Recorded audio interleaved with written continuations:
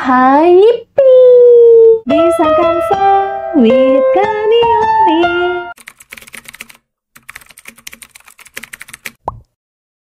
Hai semuanya, kembali lagi bersama Fioni dari Kanioni.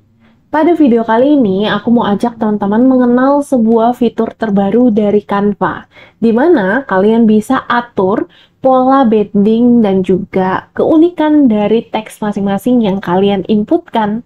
Misalkan kalian mau atur jadi seperti ini, atau seperti ini, atau mungkin kayak gini. Teman-teman bisa bikin semua ini menggunakan fitur terbaru dari Canva, yaitu Typecraft. Fitur ini bisa kalian temukan di Canva Free maupun Canva Pro. Teman-teman udah lihat hasil desainnya? Yuk, kita langsung masuk ke tutorialnya. Seperti biasa, teman-teman bisa masuk dulu aja ke canva.com, kemudian sign up atau login terlebih dahulu. Teman-teman boleh pilih aja template apa pun yang akan kalian gunakan, karena fitur yang satu ini bisa kalian akses menggunakan template apa pun. Tapi kali ini sebagai contoh, aku akan pilih template Instagram post. Setelah teman-teman masuk ke blank seperti ini, teman-teman nggak perlu masukin teks terlebih dahulu untuk mengatur fitur Typecraft. Tapi, kalian lihat di sebelah kiri, kalian klik aplikasi. Di sini ada tab aplikasi. Setelah itu, teman-teman, kalian harus scroll sampai paling bawah. Yang paling bawah, yang ini. Sampai ada tulisannya Other Apps dan ada tulisannya Typecraft. Teman-teman klik aja. Nah, di sini akan ada penjelasan kalau Typecraft itu merupakan bagian dari Zeppelin Labs, di mana Zeppelin Labs ini sudah bekerja sama sama Canva untuk memfasilitasi kita membuat sebuah teks yang lebih unik, di mana teman-teman bisa bend, warp, dan juga twist. Kita akan coba sama-sama ya, teman-teman. Kita klik aja langsung open. Setelah teman-teman klik open, kalian akan melihat tampilan seperti ini. Yang pertama ada teks, ada font, kemudian style, color, dan juga edit shape-nya. Kita akan masukin dulu teks di bagian atas. Di sini aku akan pakai Kanioni. Kanioni. Kalau misalkan kita enter, ternyata belum bisa ya teman-teman. Jadi teman-teman hanya bisa untuk memasukkan satu kalimat saja. Nanti teksnya itu akan jadi lebih kecil. Kita masukin dulu Kanioni, kemudian di sini ada pilihan fontnya. Kalau aku lihat sih lebih banyak font-font yang tipenya itu dasar-dasar ya teman-teman, kayak Bebas Nue, terus kemudian ada Arial, terus ada Cooper, ada juga Futura, Gotham, Helvetica, berarti lebih banyak font-font yang sudah familiar di mata desainer. Tapi untuk font-font yang dekoratif, ini kurang ada di sini ya teman-teman. Cuma ada sedikit aja tuh. Teman-teman boleh pilih dulu fontnya. Aku akan pilih yang strict hand regular. Kemudian stylenya ini ada tiga macam. Ada yang biasa, kemudian ada yang hollow, yang bentuknya outline aja, kemudian ada yang ditambahkan outline. Jadi ada teksnya dan juga struk di bagian luarnya. Teman-teman boleh pilih dulu aja stylenya mau yang mana. Di sini aku pilih yang outline, kemudian ada color, border width, dan border color. Kita akan ganti dulu colornya. Teman-teman boleh masukin kode hex di sini, atau kalian geser-geser aja nih dari bagian color wheel-nya. Misalkan aku mau pakai yang ini, 758 CA2. Kemudian border width-nya kita tambahin sedikit di 10. Kemudian border color-nya kita ganti dulu jadi warna hitam. Di sini ada bagian edit shape. Ternyata setelah aku klik, ini teman-teman bisa langsung tarik aja untuk mengubah bentuk dari teksnya. Jadi teman-teman bisa klik aja di bagian bulatan-bulatan ini, kemudian kalian tarik sesuai keinginannya kalian. Tapi kita nggak bisa nambahin bulatan-bulatan tambahan.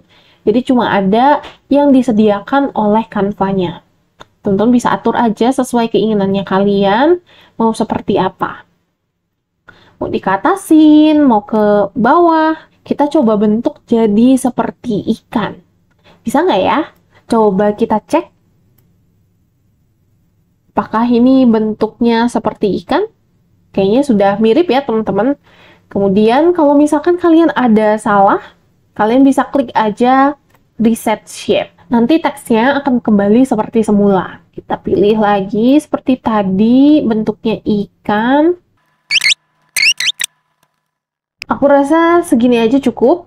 Kemudian kita klik add element to design. Nah, nanti teksnya kalian secara otomatis nih jadi elemen foto. Tapi elemennya kalian nggak akan ke-upload seperti di ID AI Presenter yang akan secara otomatis langsung masuk ke dalam fitur upload. Kalau seandainya teman-teman pengen edit bagian teksnya, misalkan kamu nggak mau nih tuliskan Yoni, ternyata bisa loh kita edit. Jadi teman-teman klik aja edit di bagian atas, kemudian kalian akan masuk ke halaman ini lagi. Jadi teman-teman bisa langsung ganti aja teksnya. Misalkan jadi ABC, terus langsung klik aja update. Tuh, langsung kan berubah. Kalau misalkan teman-teman mau ganti fontnya nih, jadi yang lain, anonymous, langsung klik aja update. Nanti akan berubah sendirinya seperti keinginannya kalian. Secara garis besar, aku pribadi sih suka banget sih sama update yang satu ini. Karena kita jadi bisa bikin bentuk-bentuk yang aneh-aneh terhadap teksnya kita. Dan sepertinya cocok juga nih kalau misalkan teman-teman mau bikin desain yang temanya itu seperti streetwear. Kalau aku lihat, kelebihan dari fitur ini setelah aku edit dan dia berubah jadi elemen, nggak ada yang namanya saving pause. Lain halnya kalau kita masukin teks dari foto yang kita download dulu sebagai transparan background, dimasukin ke Canva, baru kita liquify, biasanya suka ada saving pause. Kalau yang ini enggak, itu adalah poin kelebihannya. Kemudian yang kedua, fitur edit shape ini lebih mudah dioperasikan oleh orang-orang yang awam di dunia desain. Kalian bisa langsung geser aja sesuai keinginannya kalian. Mau ke atas, mau ke bawah, ke samping, kanan, kiri, nanti dia akan langsung berubah sesuai keinginan kalian. Itu dia bagian kelebihannya. Kita masuk ke bagian kekurangannya. Kalau kekurangannya masih di bagian edit shape. Di sini aku lihat di bagian edit shape kita nggak bisa tambahin bulatannya. Misalkan nih, kita mau edit seolah-olah bagian teksnya di sini ke atas. Terus P-nya dia mau lebih kecil dan E-nya kembali besar. Nah, kalau seperti itu tidak bisa, teman-teman. Karena di sini kalian cuma bisa atur bagian bulatannya secara sekaligus. Kalian nggak bisa kombinasiin mau besar, mau kecil di tengah-tengah. Jadi nggak bisa seperti itu, teman-teman. Kemudian yang kedua, mungkin karena ini masih baru, font-fontnya ini belum terintegrasi dengan font yang ada di Canva. Jadi masih lebih banyak font-font yang basic-basic aja. Meskipun font-font basic ini juga udah bisa teman-teman gunakan. Dan bagus juga di dalam desainnya ya.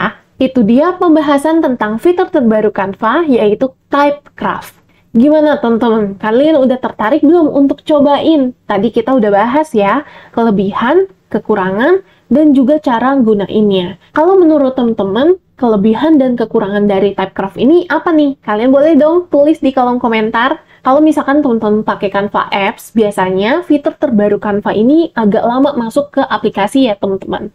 Kalian bisa tunggu dulu sekitar 2-3 minggu, baru biasanya ada di aplikasi HP. Tapi kalau misalkan teman-teman pakai web, seharusnya fitur Typecraft ini udah muncul. Yuk, langsung dicobain aja ya, teman-teman. Oke deh, teman-teman. Segitu aja pembahasan dariku. Ayo, langsung dicobain aja. Siapa tahu di kanvanya kalian udah muncul nih fitur Typecraft-nya. Kalau misalkan teman-teman ada request tutorial atau konten lainnya, kalian bisa tulis di kolom komentar. Jangan lupa like video ini dan juga subscribe, nyalain notifikasinya supaya kalau nanti aku upload sebuah video baru, kalian dapat notifikasinya.